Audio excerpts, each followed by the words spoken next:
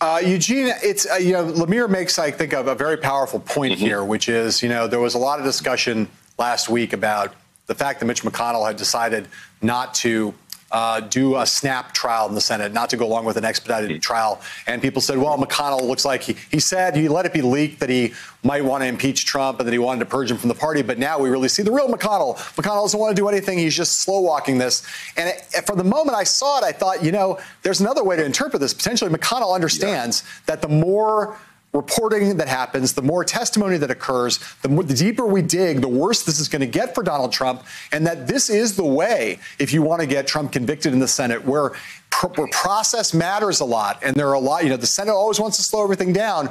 You know, McConnell, knowing his colleagues would be reticent about convicting Trump moving as fast as the House did on the impeachment side, that it seems to me that if McConnell wants to get Trump out, he may have understood that that waiting a little bit was the best way to set up that case and get that job done.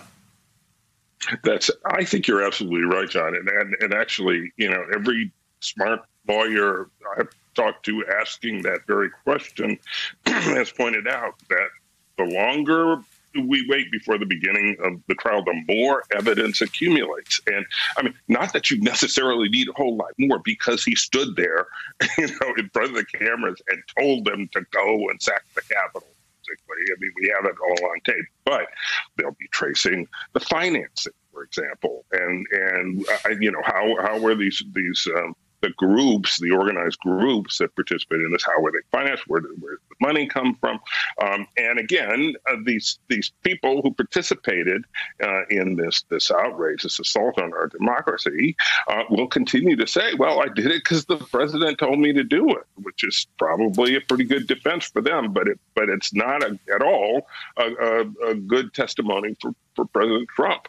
Um, and I would just add one thing, which is I, you know, 43 hours. I mean, I'm, I'm watching the, the, clock at this point, counting down hour by hour. So we don't have that much longer to go. Hey, thanks for watching our YouTube channel. You should know that you can follow today's top stories and breaking news and catch up on your favorite MSNBC shows all in one place. Download the NBC News app today.